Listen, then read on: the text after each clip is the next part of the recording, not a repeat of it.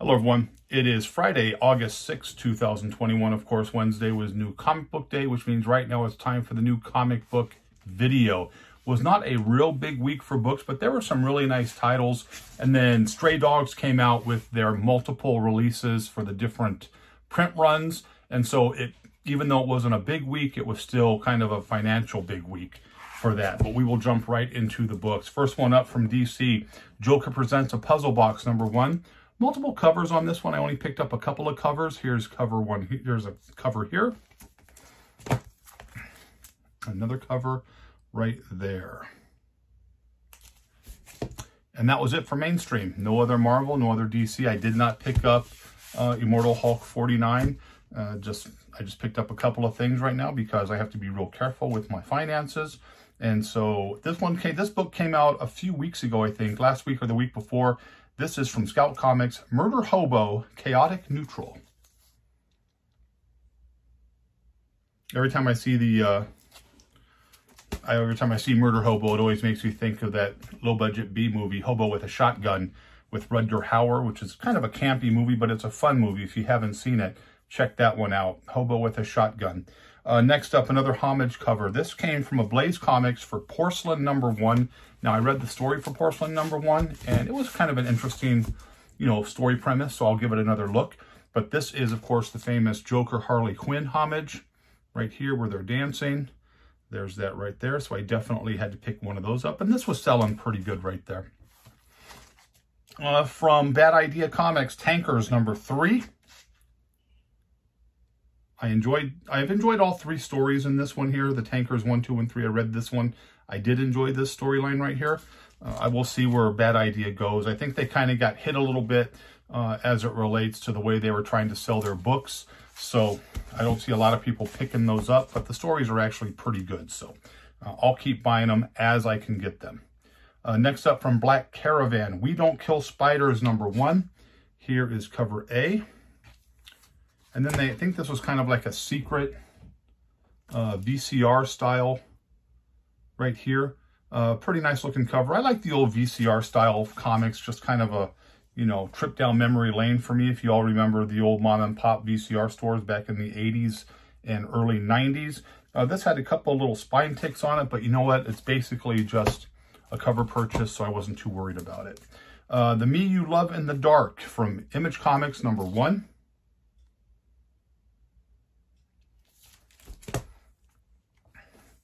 Another cover only, uh, homage cover swipe purchase. This is Not All Robots number one. And of course, if you've seen the painting American Gothic, uh, the old man, the farmer, and the wife standing in front of their home, he's got the pitchfork. Uh, this is what that's taken from right there. So I saw that and I thought, you know what, that's kind of cool. I'm just going to pick that one up just to put away. Next up, Red Room number three. Issue one sold really well. It was hot. Uh, two and three didn't sell as, you know, as much or didn't have a lot of heat to it. The stories are kind of hit and miss, but it, it's a fun read. Uh, the one on this one, though, there was a Ninja Turtle number one homage swipe for one of their covers, and that's already selling for like $70, $80, and they sold very quickly. So here's that there. Of course, I couldn't get one of those. I'm being very careful with my finances right now. And then, of course, the big books this week was Stray Dogs, the multiple print run releases. This is issue number one, fifth print, blank variant cover right there. And then you have the Dracula movie poster. These have been very popular, all the Stray Dogs, because they've come out with some really, really nice ones. Of course, my favorite is still the Evil Dead uh, homage swipe, uh, where the dog's getting pulled into the ground. I like that one, but this is uh, from Bram Stoker's Dracula, if you've ever seen the movie. Uh, I think it's got Keanu Reeves and uh, Anthony Hopkins in it. There's that there. Issue 5, second print.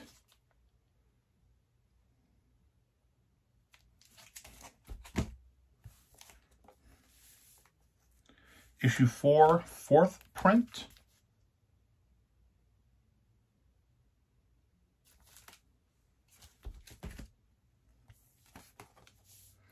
Issue 2, fourth print. And then finally, the last one, issue three, fourth print. I've heard hit and miss on this. People were kind of, you know, why would they release all the extra print runs for the different, you know, issues at the same time? I kind of like that premise. The book is hot right now, so they did the right thing because I know people are trying to put the set together. Uh, the movie cover homage set is really popular with collectors, and it's really popular on the secondary market. So they just said, you know what, let's just put them all out right now. I think this is going to be the last of the runs, though.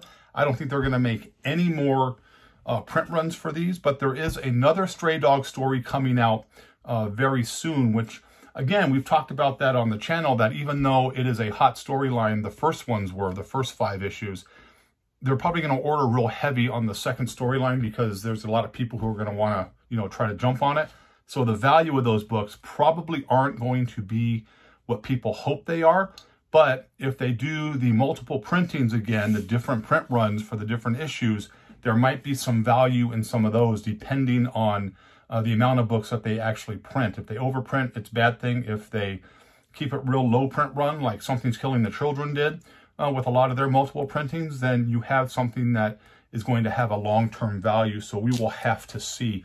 And then finally, with the Stray Dogs, this I believe is a 1 in 10. I was able to get this at a really good price, so I was happy with that. This is the Crow Homage right here, and this is already selling in the 35 to $50 range. So I was real happy to grab that one. Of course, we on this channel are big fans of Stray Dogs. It was one of the books that we had talked about before the release. So I'm happy to be able to get, uh, you know, most of the covers that I wanted uh, during the entire print run, including a lot of the early first prints of issues uh, one and two because like I stated, that was something that I was really hot on. So there's that. And then a couple weeks ago, either last week or the week before, uh, the new Overstreet came, the new Overstreet price guide. Again, I wasn't able to pick it up, you know, uh, when it first came out, but I was able to pick one up.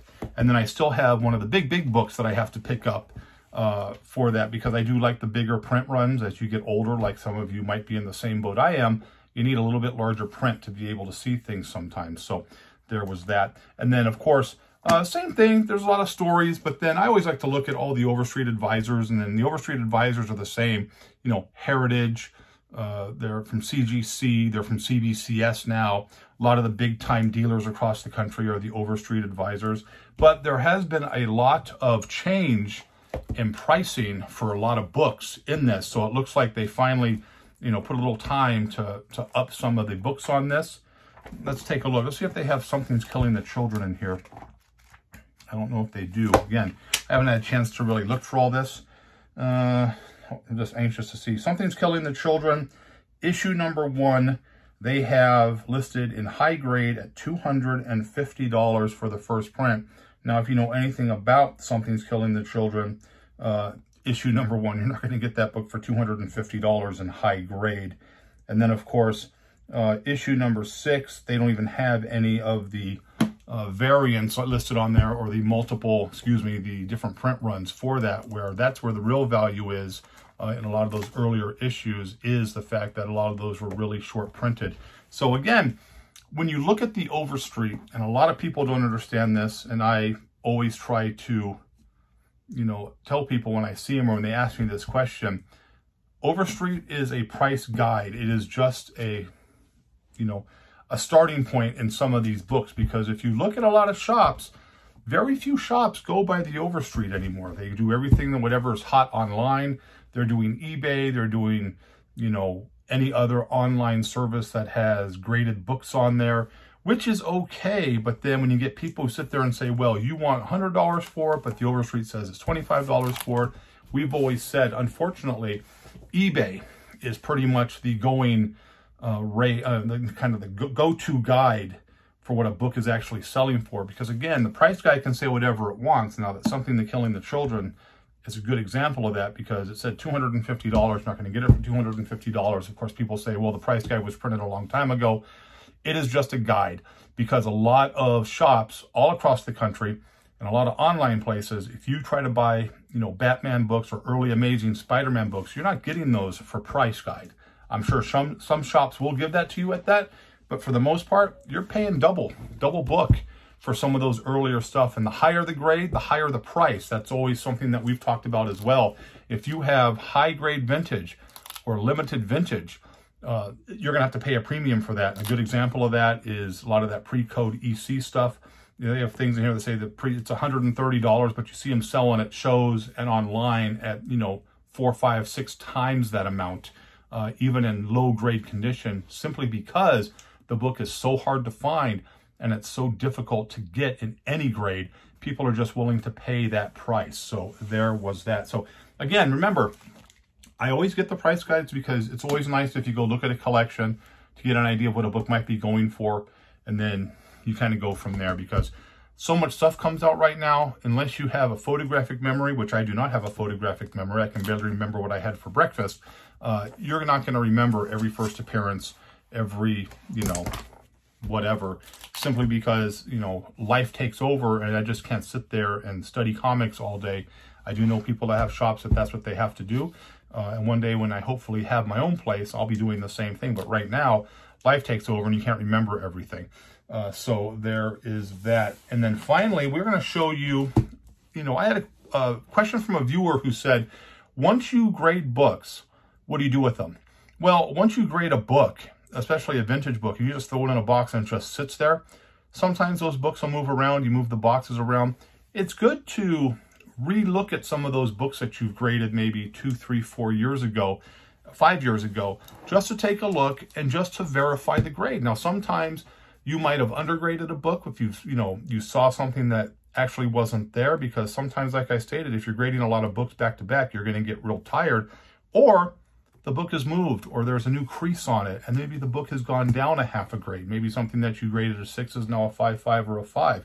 Again, the most important thing like we've discussed, in order to have a good reputation and in order to be respected in the industry, you have to be honest with your collection. You have to be honest with your grading, something that a lot of collectors and a lot of online sellers do not do because they are trying to squeeze every penny out of that book. So again, the more honest you are, people will line up, people will buy your books. I have no problem selling books when I do the local shows here. Uh, and it's like that because people know that I'm honest and I'm accurate what I do, at what I do. So let's take a look at some of the books I fixed uh, today and yesterday. Again, I only do a few books at a time because you get tired and you have a lot of other things you have to do. First one up, 1975, The Frankenstein Monster, number 17, the old robot cover. Graded this a 9.0. Really nice there. Love these old 70s. We've talked about that.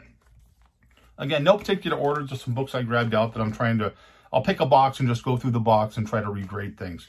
Uh, next up, Doctor Strange, number 176 from 1969. I graded this a 7.5. Really nice looking color on that. And again, my grading's harder than, you know, some people. So they'll say, oh, that book looks so much better. But again, like I've stated before, when you show books on, on the computer or on the channel here, and it's in Mylar, Mylar can make the lowest graded book look a lot nicer than what it may actually be. But these are very accurately graded, and they do present very well. Even the lower grade books present very, very well. Uh, next up, from 1966, this is X-Men number 26. This one has a small half inch split on the bottom here. They call it a spine split. This is graded a 4.5, uh, which in a 4.5, a half up to an inch spine split is acceptable. Uh, but again, another book that presents very, very well. Good color on that. Really nice book. You know, got everything, everything you want on an exciting book. Kid would see that book and be like, I want that book. Next up, from 1969, this is X-Men number 52. This is an 8.0. This is the first full appearance of Eric the Red. It's also an origin story for the Beast. There's that right there. Really, really nice. Any earlier X-Men, even though the movies have been not the greatest, uh, early X-Men issues, anything, you know, pre-60 uh, issue sells really, really well. Anything pre-25, 30 to, you know, and earlier sells really well in any condition. But this here is an 8.0. It's a strong book. Uh, first Eric the Red and Origin of the Beast. So you get a double. You get a first full appearance and then you get an origin story. Next up from 1967, classic Romita cover from, uh, this is Amazing Spider-Man number 54, 7.5. Really nice looking color right there. Yellow's yellow, red's red, blue's blue. What more do you want in a good book like that? There it is right there. And again, this is one of the other books we've talked about. Anything early Amazing Spider-Man in, you know, upper mid-grade is going to get a little bit more premium price on that. And this is just a good example of that. This is a 7.5, so you're going to be paying a little bit of a premium on that. Next up, Brave and the Bold, number 50 from 1963. Uh, significance of this, this is the first Martian Manhunter crossover outside of Detective Comics. This is only a 4.0. Uh, it does have, you know, the typical issues with some of the spine right there. But again, it is the first crossover, uh, full crossover of Martian Manhunter. And a really nice looking green arrow right there. Just a really, really nice looking book. Again, another book that sells really, really well. Isn't priced real high, but you know what? Book like that, that even in low grade, that presents like that. Uh, Aquaman, number five from 1962. This is a nice Nick Cardy cover. Our friend Nick Cardy here on this channel. We love Nick Cardy. VG Plus right here. Really cool looking thing with the orcas coming down on Aquaman. And so you have that right there. Really cool. Really nice looking book. Again, lower grade, but presents very, very well. And then finally, we'll end it on a really, you know, just a funny note right here. This is from 1958. This is a 8.5. This says Sad Sack and the Sarge, number six. And an 8.5, significance of this book is it's a high grade 50s book. And you know what? There was a big market for things like Sad Sack, Walt Disney, things like that. Just a real fun book. But again, one of those books that you find in high grade and you fix it, you put it on a little, you know, Mylar little Mylite. So when people ask the difference, like here is a book that's in Mylar, or excuse me, this is this is a halfback with Mylite. Sorry about the glare. You can see the extra spacing on the sides here.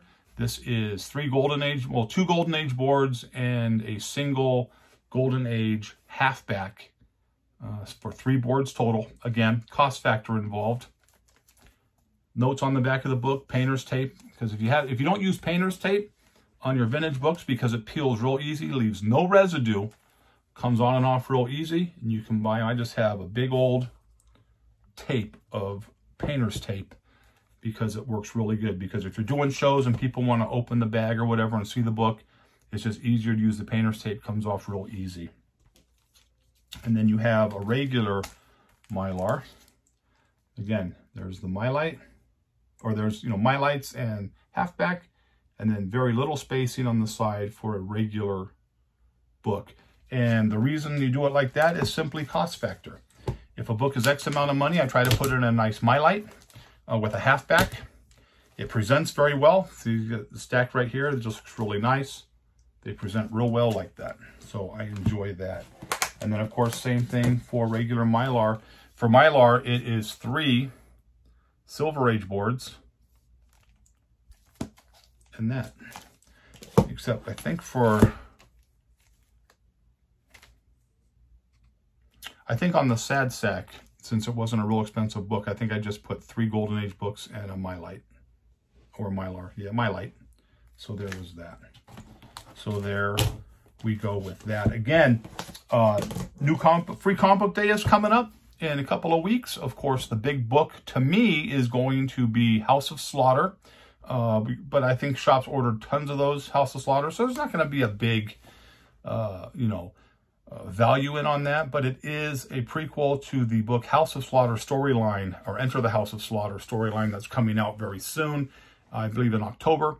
And then uh, Stray Dogs has their prequel book uh, that didn't get released at regular free comic book day because of the pandemic but it is, I've had a chance to see the book and read the book. It is just a prequel to uh, Stray Dogs number one, but still a nice addition uh, to the collection for those of you who enjoy the um, Stray Dogs storyline, which of course on this channel, we are fans of that. So that's what we have so far. That's what we have today. Again, I'm going to try to get uh, another video done with some video hot picks that I want to do. I just, I haven't had time. Uh, I wanted to get the video out though here. And again, if you're a subscriber to the channel, thank you very much. If you're not a subscriber to the channel, please hit that subscribe button. Uh, it means a lot to me. And then hit the bell so you know when the new videos come out. Right now, they're pretty consistently coming out on Friday. But I'm going to try to do a video as well on Wednesday. Uh, there's a possibility that my days off are going to change real soon. So we'll keep our fingers crossed because it seems like something's always changing at my job. But hey, at least I'm working and that's what the important thing is. So there was that. So I hope you liked the books and I hope you liked the video. But as always, if you didn't, nothing I can do for you. Have a great, great day. Be safe and we'll see you real soon.